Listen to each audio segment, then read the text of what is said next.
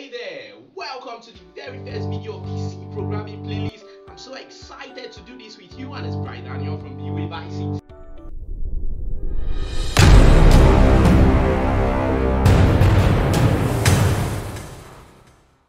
Someone said I should say a rhyme to introduce this playlist that's so fine, but I'm going to decline because we don't have time. So let's dive in and learn because at the end of the day we believe say our water go turn wine. I be the one they come wine. I believe say my water go turn wine. Hey.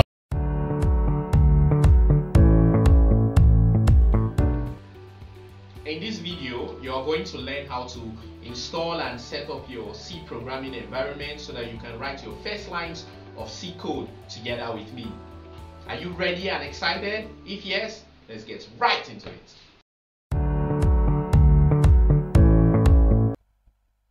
To start running our C programs, we need to download a few things. Number one is the text editor where our program is going to run on. And it's called an IDE, which means Integrated Development Environment. Basically, that's where you type your codes. And the second, we need a compiler to actually compile the code. So when we type the codes, we have to compile it to machine language so that we can get the desired results. Now for IDEs, there are a lot of them, but the most popular and easy to use one is Visual Studio Code. So if you have VS Code, you could open it, but if you don't have VS Code, we are going to install it now live. So let's walk you through the installation. All you have to do is come here to your Chrome or whatever browser you're using and just type in VS Code download and just type this VS Code download here on your search engine and you're going to see here the very first link that comes up download Visual Studio Code. Just click on it. You should see a page that's open just like this and once you see it all you have to do is open the one that you want to use. Now i assume most people are using windows but if you're not you can also see the page for mac so this that's one for mac there or for linux. Now we're going to download and install for windows which is very simple.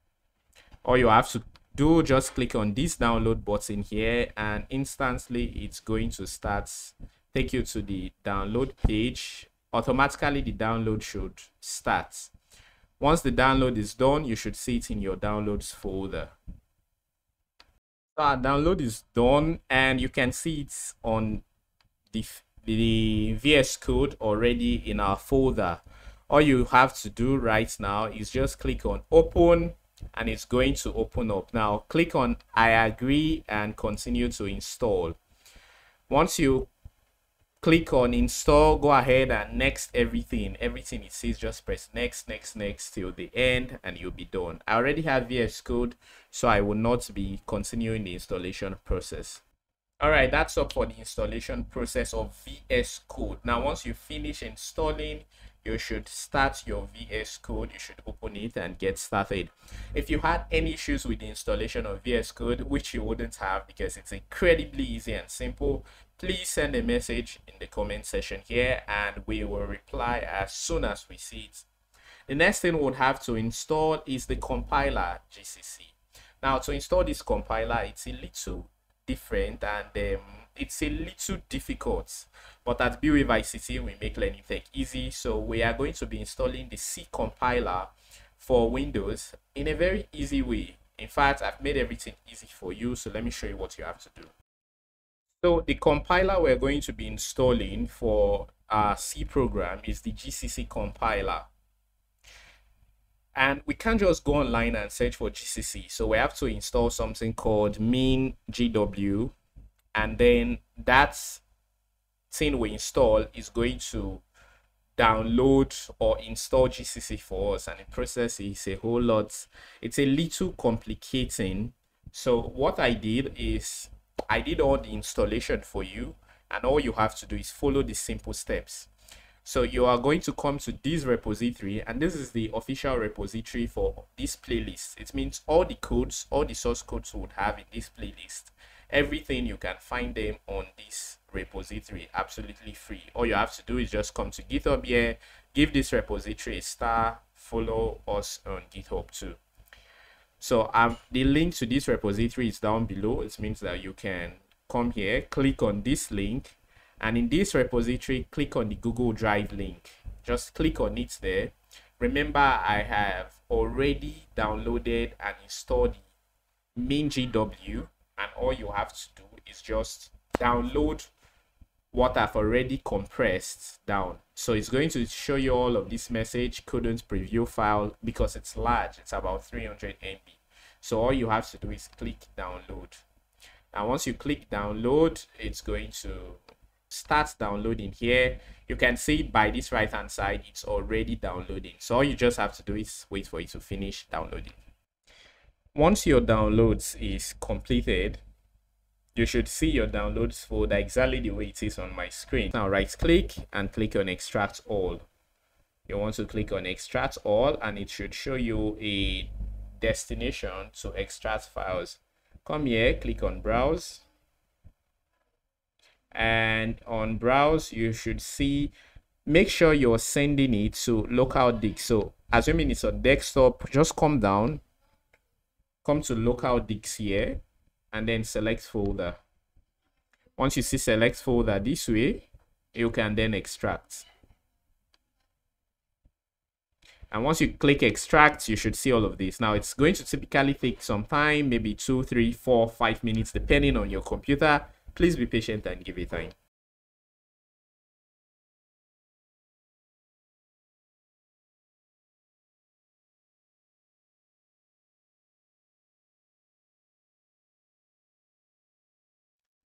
when you are done extracting in your local disk folder. Now, how do you I see that local disk? Just your left hand corner, you should look down, you'll see local disk C. If you click on it, you should see this folder, main GW. Once you see it, great job. Now click the MinGW folder and click bin. Bin is the first one, so click click um, to open bin your bin folder once you see this way very good now don't touch anything here just come up you could see this this place that looks like a bar so come here click inside once you click inside it should show like this right click to copy copy it and once you've copied it we've done more than half of what is required next thing we'll do is to come here and search on your computer. So I just press the Windows key. Come here. Now you would have to type edit. So immediately I just type edit. So I can see the best match. Edit the system environment variables. Once you see this, click on it. Once we click on it, it's going to open. So you see down below, I'm going to open it. Now click on these environment variables, this button here. I've clicked on it. You should see these user variables for user. Please don't touch anything up. Come down, you should see system variables. Now click on parts. Double click on parts. It's going to open like this. And once it's open, just come here, click on new.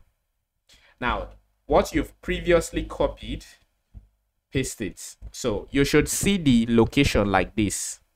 Once you have this, go ahead and click on OK. OK. OK. That's it, guys. It's done. We've installed both our VS Code and our compiler. Once again, the process for installing the compiler is stressful, so I did all of that for you, installing all of these files and then compress it so that you have it.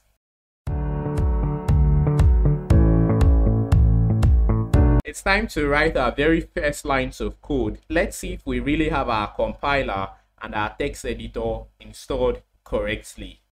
Right now, I'm in my desktop environment and we are going to create a folder and inside this folder, that's where we're going to write all our C files, all the lessons, all the programs. So right click here and come to new now click on folder and I'm going to call this C programming. So C programming.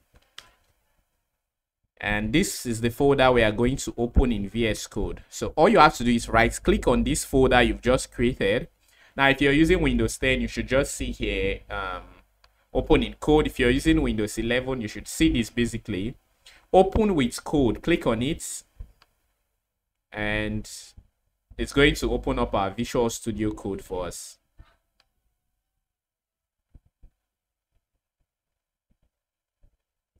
Look at the folder with open C programming. Let's create our very first file. To do that, just click on this plus button here to create your very first file. I'm going to delete this welcome screen. Click here and hello.c. So the name of this file would be hello.c. Yeah, hello.c and press enter. Here we're going to write our very first lines of code. So let's go ahead you could just write along with me and later we'll talk about why we wrote this code the way we did it. We'll talk about what all of this does. So include stdio.h. Next up, we have int main. And in here, let's write this. So printf hello world and that's all. All right so these are very first lines of c programming code. The next thing you want to do after this is to come here click on this view and click on terminal. We're going to use our terminal to compile code every time.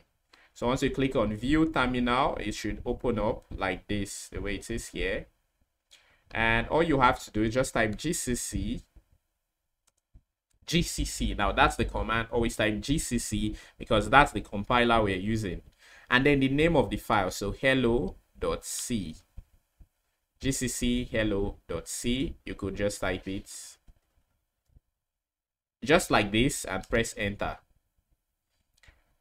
now, after pressing enter, list out what you have by typing ls. You are going to see that we have a new file called a.exe, a.exe. So we're going to run it by doing dot slash a.exe. Now dot a forward slash, a forward slash here, a.exe, just like this. Press enter and now, hey, look, we have the same things we wrote here. Hello world, it's currently down here. So that's it. Our text editor has been installed our compiler has been installed and you're all set to begin your journey as a software engineer using the c programming language. In the second video we'll explain basically all what we did here and we'll start learning more about c